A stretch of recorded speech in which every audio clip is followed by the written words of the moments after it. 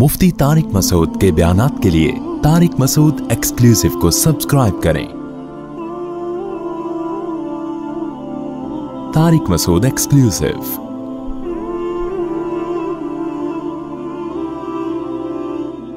हदीस में आता है, रसूलुल्लाह सल्लल्लाहु अलैहि वसल्लम ने फरमाया, जिस शख्स को जहन्नम में सबसे आखिर में निकाला जाएगा और उसको सबसे कम दर्जे की जन्नत मिलेगी तो अहले ईमान जो है ना, ये हमारा अकीदा है, कुरान और सुन्नत ने बयान किया है कि जो ईमान वाले लोग हैं, सजा खाने के बाद बिल आखिर वो जहन्नम से निकलेंगे।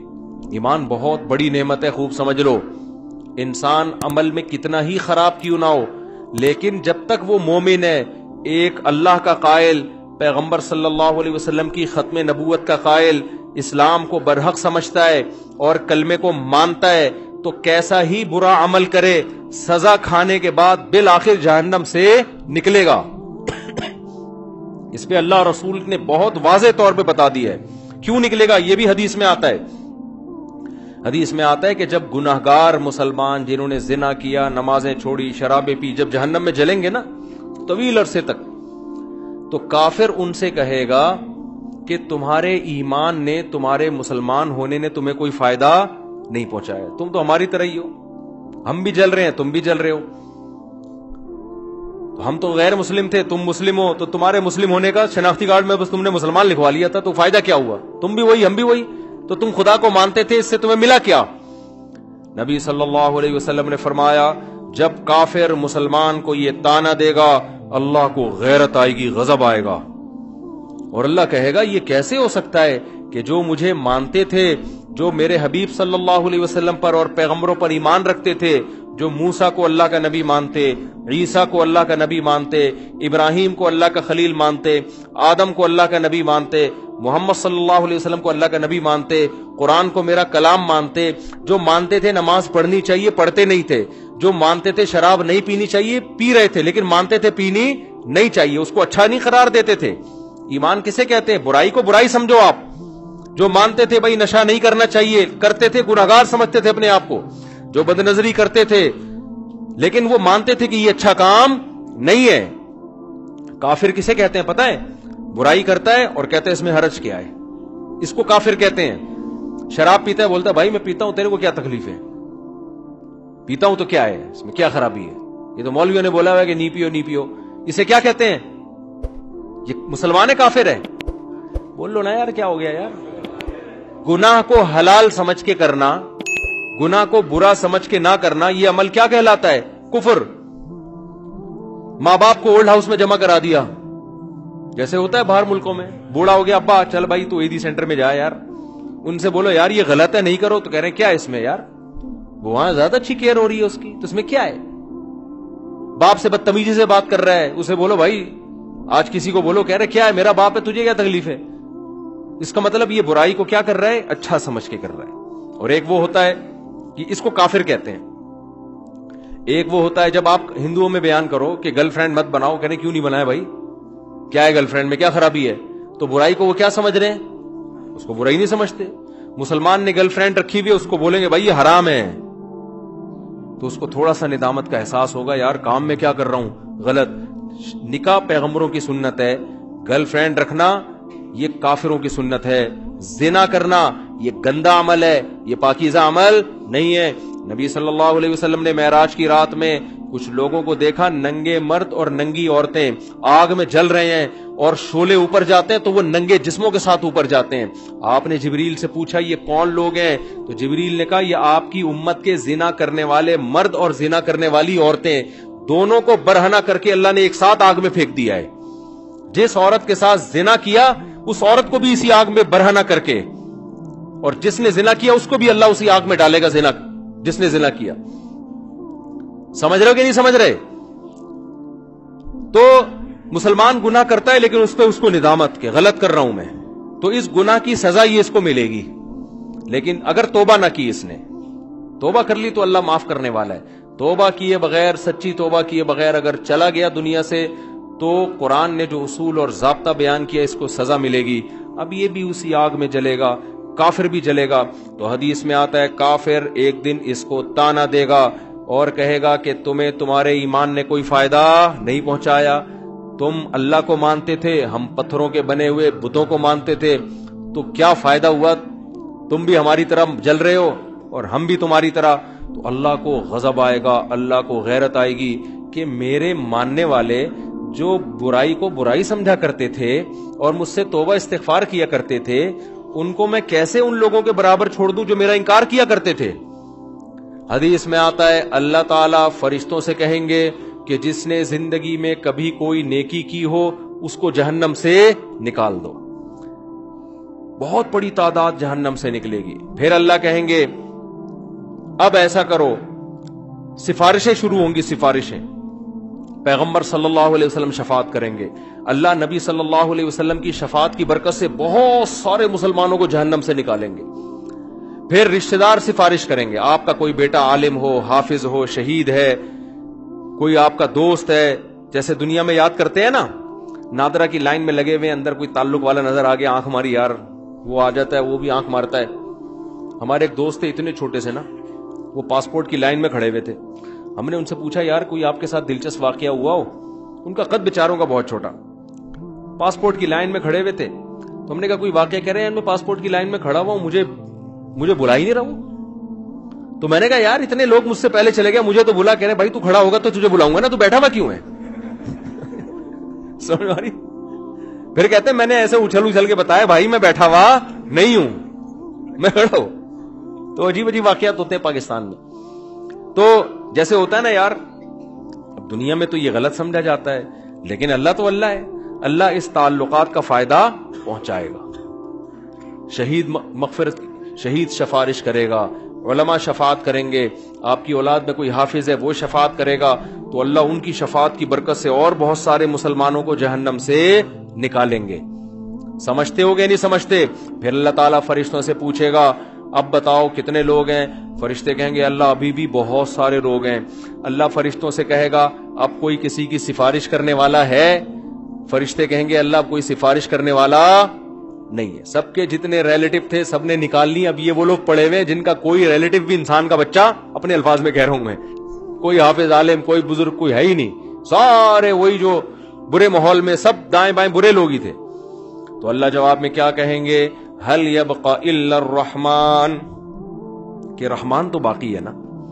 जब पैगंबर को अपनी उम्मत पे तरस आ सकता है, दोस्तों को दोस्तों पे तरस आ सकता है, औलाद को माँ बाप पे माँ बाप को औलाद पे, शोहर को बीवी पे, बीवी को शोहर पे तरस आ सकता है और मुझसे सिफारिश करके निकलवा रहे हैं तो मेरा भी तो अपनी बंदों से खालिक और मखलूक का ताल्लुक है। तो मैं भी तो निकालूँगा ना? तो अब कोई सिफारिश करने वाला नहीं है। तो मन का नफी कलबी ही मिसकाल हब्बत मिन खरदलिन मिन ईमान, जिसके दिल में राई के दाने के बराबर भी ईमान है, अल्लाह फरिश्तों से कहेंगे, उसको भी निकाल के ले आओ। उसको भी निकाल के, ईमान का मतलब पहले समझ गए, जो गुनाह करता है और फखर करता है, वो ईमान वाला नहीं है। वो ईमान वाला नहीं अल्लाह की नज़र में, वो तो काफिर है। तो हदीस में आता है बहुत अहम हदीस है, खूब गौर से सुने। अल्लाह एक एक, वो जो है ना, फरिश्ता फिर निकालना शुरू करेगा। यहाँ तक कि जो सबसे आखिर में जहन्नम से निकलेगा, वो सबसे बदबख्तरीन इंसान होगा कि नहीं होगा? सबसे ज़्यादा उसके अमाल काले थे, सिर्फ़ एक ईमान की दौलत लेकर गया वो। तो नबी सल्लल्लाहु अलैहि वसल्लम ने फरमाया कि जब अल्लाह ताला उसको निकालेंगे, इस हदीस के रावी है अब्दुल्ला इब्ने मसूद रज़ी अल्लाह तु हज़रत अब्दुल्ला बिन मसूद का हल्का कूफा में लगा हुआ है, शागिर्द बैठे हुए हैं, हज़रत अब्दुल्ला बिन मसूद उनको यह हदीस सुना रहे हैं कि अल्लाह ताला जब उसको आखिरी फर्द को निकालेंगे ना, सबसे लास्ट में निकलेगा वो। पता नहीं क्या होगा, वो आप खुद सोच लो सबसे आखिर में निकलेगा वो तो वो कहेगा कि मेरा रुख इस जहन्नम से फेर दिया जाए। उससे नफरत होगी आग से। अल्लाह उसका रुख फेरेंगे। फिर अल्लाह उससे कहेंगे, बता तू क्या चाहता है? बता तू क्या चाहता है। हदीस में आता है कि जिस तरफ़ रुख करेगा ना, उस तरफ़ जन्नत होगी। तो वो अल्लाह से कहेगा कि, ए अल्लाह, ये जो इतनी खुशनुमा जन्नत, जिसके बारे में कुरान कहता है, माला आइन रत वला उदन समियत वला खतरा अला कलबी बशर, ऐसी नेमतें मैंने अपने बंदों के लिए तैयार करके रखी हैं जो ना किसी आँख ने देखी, ना उनकी हकीकत किसी कान ने सुनी, ना उनका तस्वुर कभी किसी दिल में गुजरा है। आप अयाशी का तस्वुर करो ना। आपका तस्वुर जहाँ जाके खत्म होगा ना, जन्नत उससे भी ऊपर की चीज़ है। हदीस में आता है, अब्दुल्ला बिन मसूद रज़ी अल्लाह तु फरमाते हैं कि जो सबसे आखिर में जहन्नम से निकलेगा, अल्लाह उससे पूछेंगे, बता क्या चाहता है? वो कहेगा ए अल्लाह, ये जो जन्नत की हवाएँ आ रही हैं बस इसके करीब थोड़ा सा मुझे ले जा। मुझे तेरे जलाल की कसम, इसके अलावा तुझसे मैं कुछ भी नहीं मांगूँगा। अल्लाह कहेंगे, वादा कर। हदीस का मफहूम अपने अल्फाज में पेश कर रहा हूँ कि मजीद कुछ नहीं मांगना। कहेगा, कुछ भी नहीं मांगूँगा। उसको इतनी हसीन जन्नत नज़र आएगी ना कहेगा, बस इसके करीब भी पहुँच जाए ना। वो बहुत है मेरे लिए। जब करीब जाएगा तो और जन्नत की खुशबुएँ और हवाएँ आना शुरू। थोड़ी देर में बर्दाश्त से बाहर हो जाएगा मामला। फिर वो अल्लाह से कहेगा, ए अल्लाह, ये जो दरवाज़ा है ना जन्नत का, बस यहाँ तक पहुँचा दे। अल्लाह कहेगा, तूने मुझसे वादा किया था, मजीद कुछ नहीं मांगूँगा। कहेगा, अल्लाह, मैंने वादा तो किया था, बस ये मेरा सच्ची मुच्ची का वादा है, यहाँ तक पहुँचा दे। इसके बाद मैं तुझसे कुछ भी नहीं गालिबन हदीस में आता है दरख्त अल्लाह जन्नत का लगाएँगे बाहर। दरख्त होगा जन्नत का। कहेगा, इस दरख्त में पहुँचा दे। इतना हसीन, खूबसूरत दरख्त होगा वो। हदीस में आता है अल्लाह ये बात जानते होंगे कि ये माजूर है। हालाँकि अल्लाह से मुआदा करके तोड़ना कितना बड़ा जुर्म है ना? लेकिन अल्लाह को पता होगा मैंने इतना हसीन दरख्त जन्नत के करीब लगाया है कि ये शख्स मास कोई भी होता ना कितना नेक से नेक आदमी होता जिसने ज़िंदगी में कभी मुहिदा नहीं तोड़ा आज वो भी मुहिदा तोड़ देता। इसमें अट्रैक्शन इतनी है। तो एक दरख्त जब वो, वो वहाँ पहुंचेगा अब जन्नत के बिल्कुल करीब हो गया। अब वहाँ से जन्नत की हवाएँ आ रही हैं, मुश्को अंबर की हवाएँ आ रही हैं। वो कहेगा, थोड़ी देर तो बर्दाश्त करेगा, उसके बाद कहेगा, ए अल्लाह, बस तू मुझे इसके दरवाजे तक पहुँचा दे। मेरा पक्का और सच्चा वादा, इसके बाद मैं तुझसे कुछ भी नहीं मांग। अल्लाह कहेंगे, तूने तो वादा किया था मुझसे। वो कहेगा, मुझे अच्छी तरह याद है, मैंने वादा किया था। वादा खिलाफी करना बहुत बड़ा गुना है और अल्लाह से वादा करके झूठ बोलना तो बहुत बड़ा गुना है। बस एक दफ़ा है भाई? इसके बाद कभी नहीं मांगूँगा। हदीस में आता है, अल्लाह जानते होंगे कि ये माजूर है। कोई भी इसकी जगह होता तो जन्नत में अट्रैक्शन इतनी है। दरवाजे पे पहुँच जाएगा। अब तो और करीब हो गया ना। तो वो कहेगा अल्लाह, अंदर दाखिल कर दे। पक्का वादा, इसके बाद मैं तुझसे कुछ भी बोलो, नहीं मांगूँगा। अल्लाह कहेगा, तूने वादा किया था कहेगा, वादा किया था, अब मैं बिल्कुल सच्ची मुच्ची का वादा कर रहा हूँ। बिल्कुल पक्का ढक्का वादा कर रहा हूँ, इसके बाद कुछ नहीं मांगूँगा। हदीस का आखिर में अल्फाज ये हैं कि जब अल्लाह उसको जन्नत में दाखिल कर देगा ना तो वो जब अंदर जाके देखेगा, ओ भाई, ऐसे दूध की नहरें, शराब की नहरें, हूरे, कराची के लौंडे लपाड़ों को तो एक हूरी दिखा दो ना, काफ़ी है इनके लिए।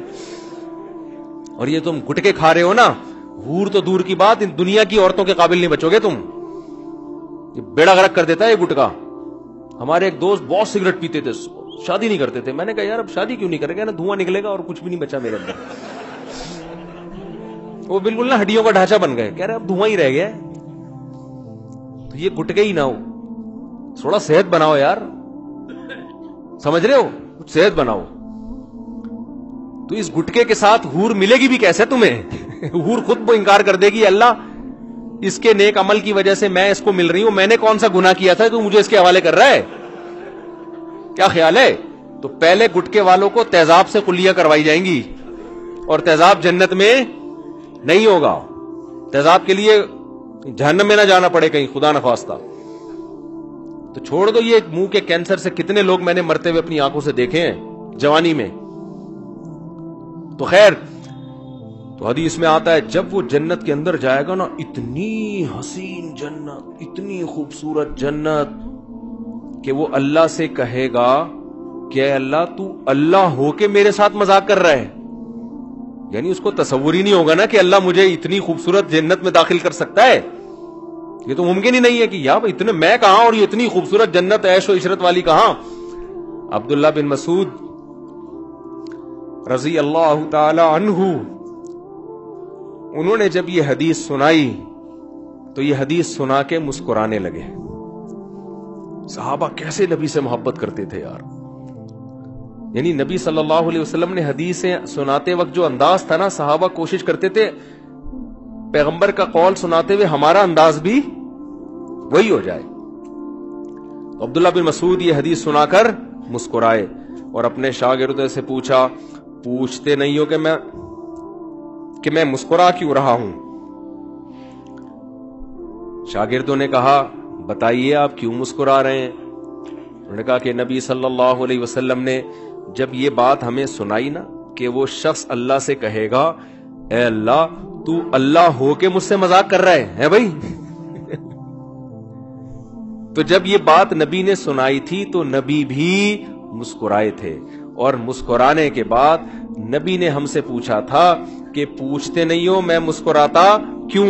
हमने पूछा था कि, या रसूल अल्लाह आप बताइए कि आप क्यों मुस्कुरा रहे हैं? तो नबी सल्लल्लाहु अलैहि वसल्लम ने फरमाया कि, जब बंदा अल्लाह से ये कहेगा ना, अल्लाह तू अल्लाह होके मेरे से मज़ाक कर रहा है तो अल्लाह भी बंदे की ये बात सुन के मुस्कुराएगा. समझ रहे हो? अल्लाह उस पर गुस्ताखी का फतवा नहीं लगाएगा। गुस्ताख, अल्लाह को पता है इसकी अंदर अंदर की हालत क्या है? अंदर की हालत क्या है? फिर अल्लाह उससे कहेंगे, ये एक है। इस जैसी दस गुना बड़ी जन्नत मैंने तुझे दी है। तो भाई, वो अल्लाह है, वो इंसान नहीं है। उसके खजाने भी बहुत और उसके दोनों हाथ भी खुले हुए हैं। तो अल्लाह कहता है मिनजालिकुम जिन दुनिया की नेमतों के पीछे तुम भाग रहे हो ना, इससे बड़ी नेमतें हम तुम्हें बताते हैं। वो क्या है? वो जन्नत में है।